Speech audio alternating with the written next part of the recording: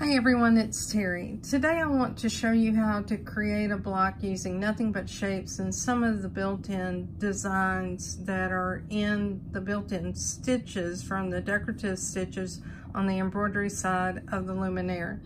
I cannot claim credit for this. There's a member of our group in the Just Stitching with the Brother Luminaire group that came up with an idea.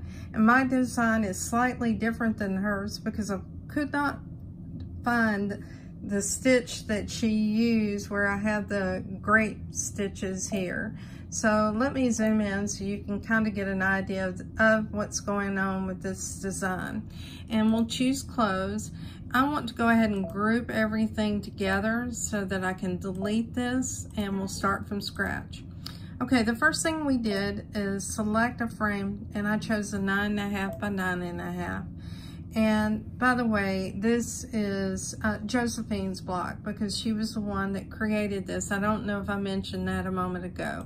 So now what I'm going to do is I'm going to set the first design. And the reason we're setting this is because we want to be able to create some echo quilting around it. So we'll choose edit and we'll resize it because it's a shape you don't have to worry about which method of resizing that you select.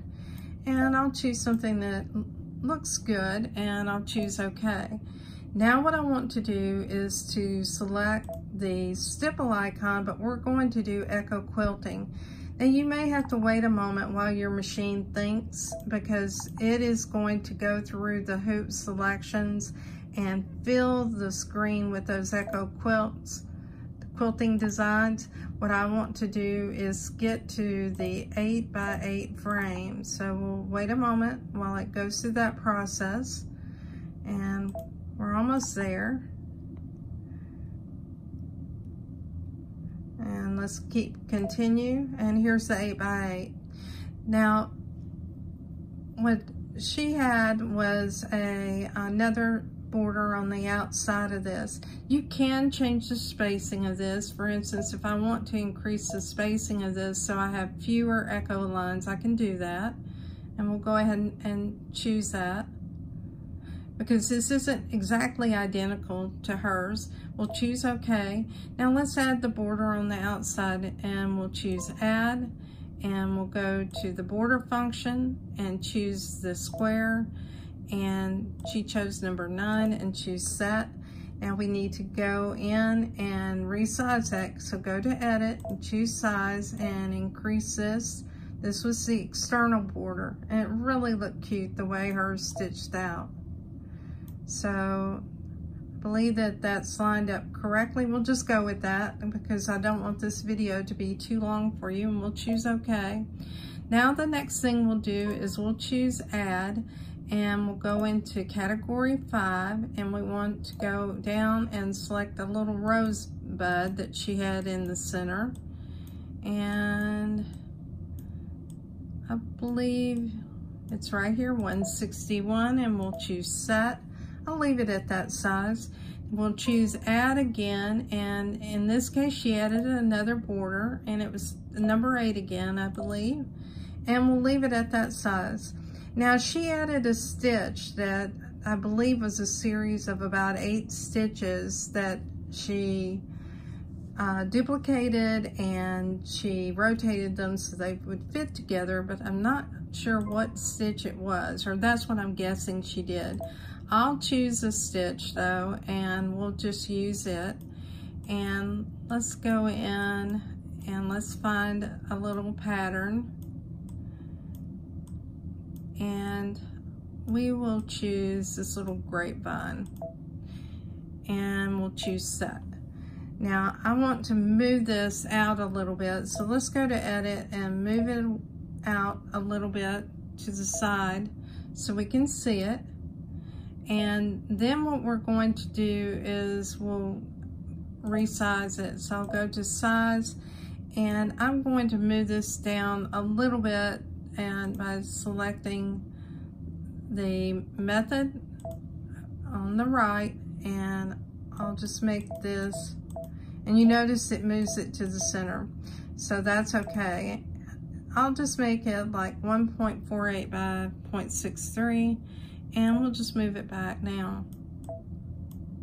Now this may be smaller than what she had, but we'll go with this. And let's rotate it. And now what I want to do is duplicate it. And we'll take this other design and we'll rotate it. And I'll move it back about 10 degrees or so at a time, but not 10 degrees. And I can move it in place. What I'm trying to do, I'm trying to look at where the other design is and more or less line it up. And what I want to do is to make this easy on myself, I want to get four of these designs duplicated so I don't have to do so much moving things around. So we'll go ahead and duplicate it one more time. We'll move it up here and rotate it again. And we'll move that one. And let's mirror image that and see what happens. I don't care for that. So we'll bring it back. Let's rotate it again. There we go. That's what I want. And I want to add one more. So I'll choose okay, and we'll add one more. We'll move this over and we'll rotate it. And let's add one more. We'll rotate that.